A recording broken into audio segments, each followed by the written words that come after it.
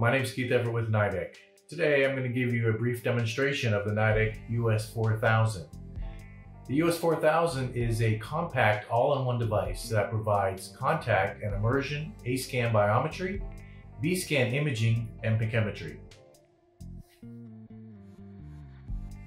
To show you how to take a pachymetry measurement by selecting Pachy.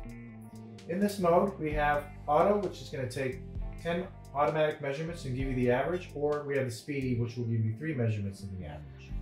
We'll keep it on auto. Over here, we also have this nice feature where we can take measurements on the cornea at different areas that you select. So in map one here, we have central cornea. Map two, we have peripheral, even more peripheral. Paracentral on map four. Map five is getting more of the cornea, and we can do overall cornea if you'd like. I'm just gonna keep it on map one. We're just gonna measure central cornea. I do have my pachymetry probe and a jig ready. I'm gonna go live.